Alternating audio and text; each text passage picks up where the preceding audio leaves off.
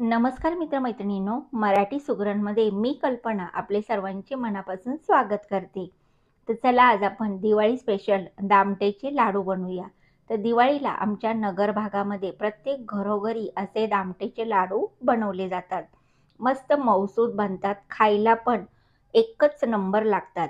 बनवायला पण खूप सोपे. तर चला आता सुरुवात करूया. तर सर्वात आधी आपल्याला लाडूसाठी पीठ मळायचं आहे त्यामुळं मी परात घेतली. आणि या वाटीनं दोन वाटी बेसन पीठ घेणार आहे. तर दिवाळीला तुम्ही जे पण फराळ डाळीपासून बनवता किंवा बेसन पिठापासून त्याकरता हरभरा डाळ गिरणीतून दळून आणून त्या बेसन पिठाचा वापर करा. मी सुद्धा हरभरा डाळ विकत आणली गिरणीतून दळून तेच बेसन पीठ वापरत आहे. कारण ते फ्रेश असतं त्यामध्ये भेसळ नसते आणि त्याचा पदार्थ पण खायला उत्तम लागतो. तर दोन वाट्या बेसन पीठ घेतले बरेच जण विकतचं बेसनपीठ वापरतात तर ते घेऊ नका. ते भरपूर दिवसाचं दळलेलं असतं आणि त्यामध्ये भेसळ पण असते. आता यामध्ये गोडाचा पदार्थ आहे. थोडं मीठ घेत घातलेलं आहे. एक वाटी पाणी घेतले थोडं थोडं पाणी घालून मी लाडूसाठी पीठ मळून घेतले. तर मला अर्धी वाटी पाणी लागलेलं आहे. पीठ मध्यम मळायचं. थोडंसं तेल लावून पिठाला मौसूद केले कारण हे पीठ खूप हाताला परातीला चिटकत आहे. आता पुरीवाणी छोटे छोटे गोळे करूया आणि मग आपल्याला याच्या पुऱ्या बनवायच्या.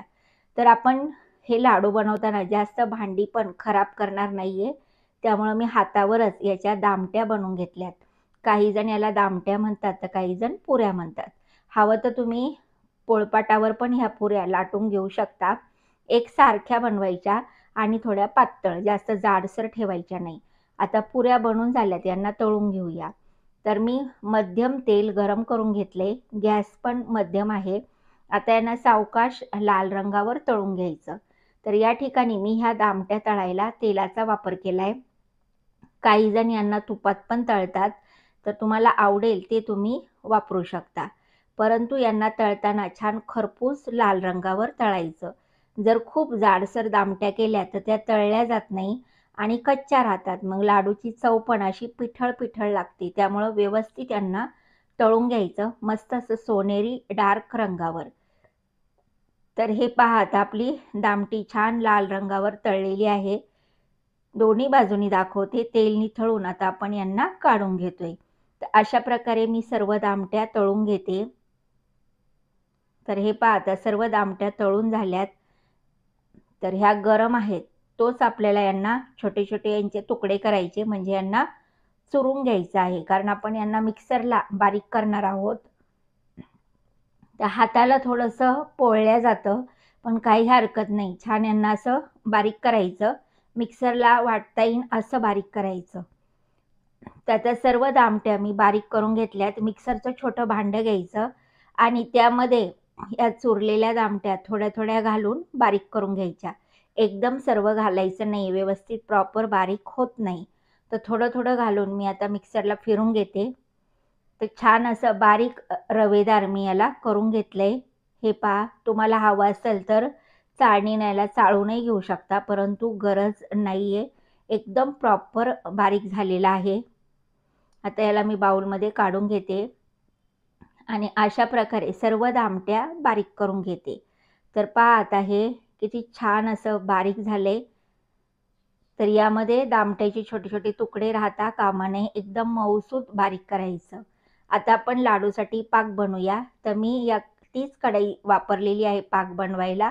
त्यातलं तेल काढून घेतले आणि यामध्ये आता दीड वाटी साखर घालूया.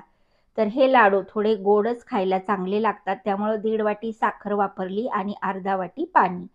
तर तुम्हाला जास्त गोड लाडू नको असतील तर एक वाटी साखर घेतली तरी चालेल. आता आपण एक तारी पाक बनवणार आहोत. तर साखर विरघळलेली आहे. तर चला आता पाक चेक करूया. कच्चा पण पाक ठेवायचा नाही आहे हे पा एक तार पाकाची सुटत आहे. म्हणजे पाक तयार आहे. आणि खूप घट्ट दोन तीन तारी पाक बनवायचा नाही नाही तर मग लाडूत साखर तयार होते. आता थोडासा फूड कलर घातला आहे केशरी. त्यामुळं लाडूला छान रंग येतो. वेलची पूड घातली.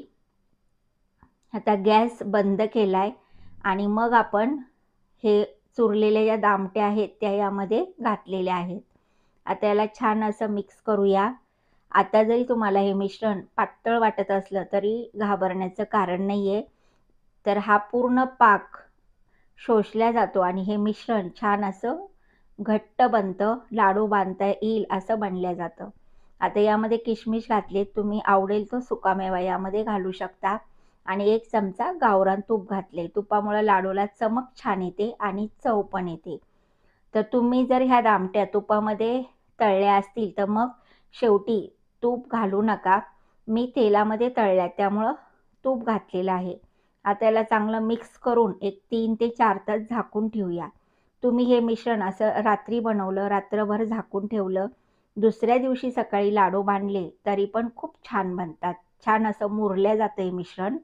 आता एक चार ते पाच तासाने मी झाकण काढले. पहा आता चमच्याने दाखवते. मस्त हे मिश्रण तयार झाले कोरडं कोरडं झाले. पाक सर्व शोषून घेतलाय. हे पाकडाईमध्ये बुडाला छान असं कोरडं कोरडं आहे.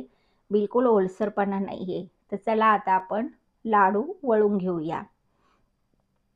तर पहा किती सुंदर लाडू बनलेला आहे. तुम्हाला पाहिजे त्या मापाचे लाडू तुम्ही बनवू शकता. मस्त गोल गरगरीत झालेत. तर पाहिलं तुम्ही किती लाडू हे बनवायला सोपे आहेत. आणि ह्या लाडूचं विशेष असं आहे का हा लाडू जसजसा मुरल्या जातो तसतसा खायला आणखीनच चवदार लागतो. आता मी अशा प्रकारे सर्व लाडू बनवून घेतलेत. तर हे लाडू तुम्ही स्वच्छ कोरड्या डब्यामध्ये भरून ठेवा. पंधरा दिवस व्यवस्थित राहतात खराब होत नाही. तर चला आता एक लाडू फोडून पण पाहूया. वाव काय महसूस झालाय पहा. तोंडामध्ये ठेवताच एकदम असा जबरदस्त लागतो खायला. तुम्ही बुंदीचे लाडू शेवचे लाडू किंवा रवा लाडू बेसन लाडू बनवतात त्यापेक्षा कितीतरी टेस्टी लागतात हे लाडू. तर एकदा तुम्ही दिवाळीला नक्की हे लाडू बनवून खाऊन पहा. आता थोडा पिस्ता घालूया यावर. तर हे पहा आपले दामटेचे लाडू. तयार. रंग पण किती छान आलाय. तर रेसिपी आवडली तर नेहमीप्रमाणे लाईक करा शेअर करा. मराठी सुगरणला सबस्क्राईब नक्की करा. आणि हो इन्स्टावर मराठी सुगरणला फॉलो करा. हॅपी दिवाळी. धन्यवाद.